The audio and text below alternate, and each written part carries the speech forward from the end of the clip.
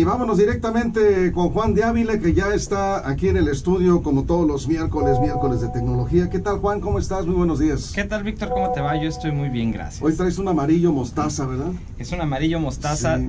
a- acorde al, al cielo nublado. Ah, bueno, fíjate nada más no es un color de verano, pero ahorita tampoco es, un cielo es de verano. un- es un color casi, casi anunciando el otoño ya. Exactamente. ¿verdad? Entonces, mi asesor de imagen y moda, mejor Sí. conocida como mi esposa, me dijo: Esta te pones esta hoy. te pones hoy. Entonces le dije: Está bien, eso me pongo hoy. Perfecto. Oye, pero yo quería Qué esta. No te estoy preguntando. Qué bueno que le hagas caso, ¿eh? Sí. Ah, Como, como debe ser. Muy bien.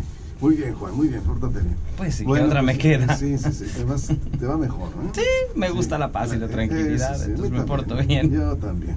Bueno, entonces hoy traes eh, verdaderamente pues, algo nuevo, que es lo que es lo nuevo ahorita en, en- en, pues, en lo que se refiere a tecnología financiera. Es. Sí, es un tema que realmente me gusta, se cruza la tecnología con el tema financiero, que son Sí. dos cosas que, que me gustan mucho. De la primera sé un poco, de la otra no sé gran cosa, pero el hecho es que el Banco de México este lunes anunció ya con bombo y platillo, y cuatro o cinco meses de atraso, pero con bombo y platillo, Sí. la plataforma CODI, el cobro digital. ¿Qué es esto? Es decir, que ahora en tu celular tú vas a vincular a través de una aplicación disponible para iOS y para Android, Sí, la aplicación del Banco de México que se llama CODI. Vas a poner ahí tu número de teléfono, te va a verificar, te llega un mensaje, lo verificas, pones los datos de tu cuenta, una serie de parámetros, este, y prácticamente traes tu cuenta de banco o algo como una tarjeta de débito en tu celular. Y esto, pues, se oye muy interesante, sí, sí se ve como del año 3000. El problema... bueno, ya en otros países, ya en, en algunas ciudades de Estados Unidos ya se paga directamente con, con celular, ¿no? Sí, desde, eh, y está Samsung, también. Samsung Pay y está Apple Pay, que es- funcionan con NFC y también con QR. Es más o menos eso. ¿Esta es Pero- una mexicanada o qué? Eh, Pues eh, es un, pues sí, es una mexicanada, es una adaptación a, a- a los estándares americanos, sí. porque hay que ver que funcione en Estados Unidos, porque yo con mi tarjeta de débito sí puedo pagar en una tienda americana y funciona. No sé si con la aplicación CODI pueda escanearlo en una tienda americana. Eso, es- eso está muy interesante. no Entiendo se me que sí, ocurrido. entiendo que sí, según ha dicho del Banco de México, pero este, esto está apenas iniciando en México. Esto salió el lunes Sí. y debió haber salido en mayo, pero bueno, ya salió el lunes.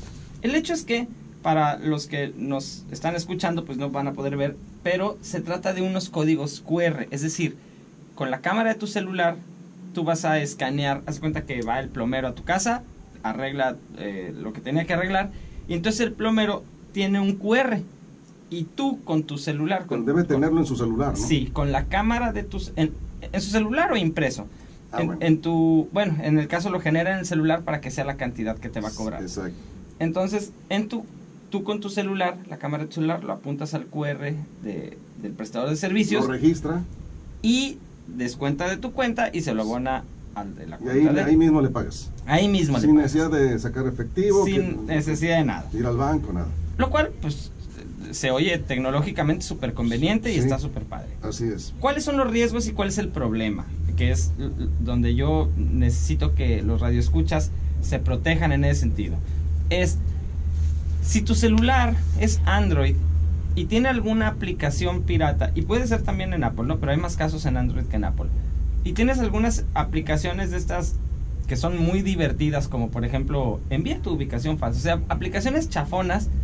Estas aplicaciones pueden tener acceso a tu código QR o acceso a tu banco y pegarte un muy buen susto o sacarte algo de dinero de tu cuenta bancaria. Y la otra es que eh, llega un asaltante y, y te quita tu teléfono y te pide la contraseña y entonces sí, pues quién sabe cómo te pueda ir. El dinero rastreable sí, sí es rastreable, pero mientras quién sabe cómo te vaya, porque entonces el banco va a decir, no, usted autorizó el pago de 18.500 pesos al señor asaltante SADCB. Sí. Entonces, ¿qué- ¿cómo van a manejar eso? O Pero sea, ese riesgo siempre, digo, siempre existe, ¿no?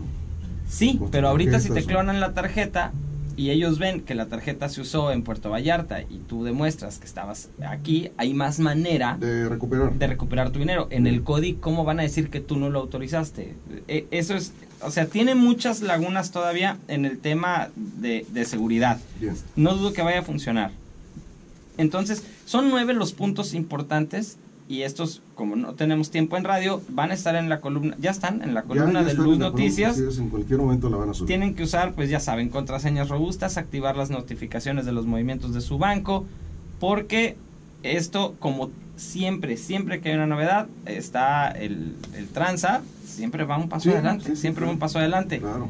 Entonces, puedes escanear un código que en lugar de pagarle al prestador de servicios, sin querer me pagas a mí. ¿Quién sabe qué vaya a pasar? Vamos a ver cómo funciona. Es, es un avance. ¿Tú ya lo tienes? No, ¿Ya lo ni lo tengo No. ni lo voy a instalar de ah, aquí a qué dos bueno años. que me dices. O sea, sí, esa es la verdad. Entonces no confías. En lo absoluto. No te genera, digamos... eh, la más mínima de las confianzas.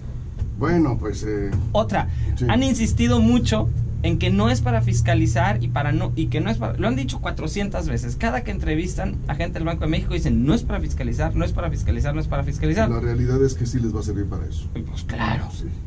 O sea, por supuesto. Es, claro. Entonces, mi recomendación, no la instalen, pero sí lean la columna. Sí, ahí Para está que vean- toda la información. Ahí está toda la información y los nueve puntos. De este tema. ¿Cómo se llama este, esta herramienta? CODI, cobro digital. Y es de Banjico.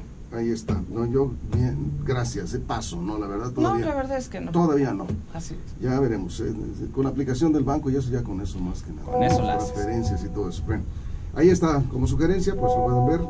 Más adelante estará la columna en Luz Noticias, me confirma. Muchas gracias, Juan. Muchísimas gracias a ti, Víctor, al público que nos hace favor de escucharnos. Gracias, Juan de Ávila. Y este es el resumen.